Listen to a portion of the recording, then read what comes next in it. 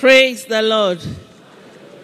My name is Deaconess Dr. Rose Abosede. I have returned to give all the glory to God and to fulfill a vow. I had been trusting God for a male child for 24 years. It's been rough, it's been tough, with well over a hundred miscarriages, failed IVF that resulted in complications. I was operated, and five days after, on the 1st of December 2013, I died. With my last breath, I just said to God, Lord, remember all my service in your house. And that was the last I knew. I saw myself floating in the room and they were all struggling. Finally, they, God sent me back. 2014, I continued with my search for a baby, not relenting. By Shiloh, Papa said, invite people. I invited my patients. One of them agreed to come with me with another member of my home cell. He was mentally challenged. As we got to Canaan Land Gate, I told him to come down and trek in, and that was it. God healed him since then.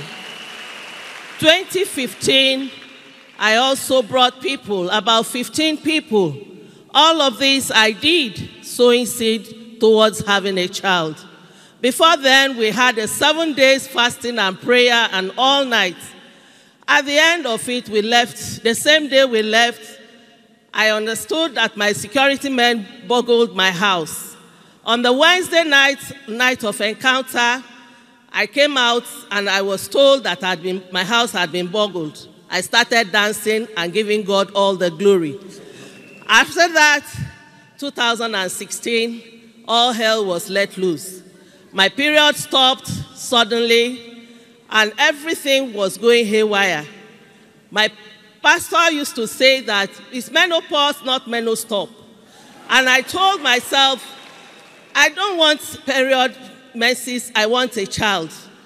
After Operation Push of that year, in the early hours, as the last minister was ministering, just like Hannah, I was crying.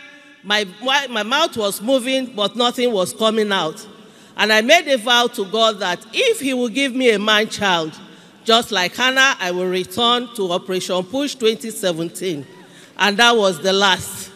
Here I am, exactly two months, 13 days after my 54th birthday, and after 24 years, God blessed me with this man child. Come to give all the glory to God. Come on, give the Lord a shout of praise. Till